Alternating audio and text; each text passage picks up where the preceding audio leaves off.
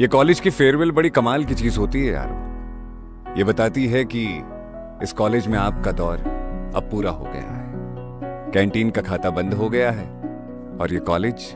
अब नए लोगों के नाम से जाना जाएगा तुम इन यादों को याद तो कर सकते हो पर अब यहां वापस नहीं लौट सकते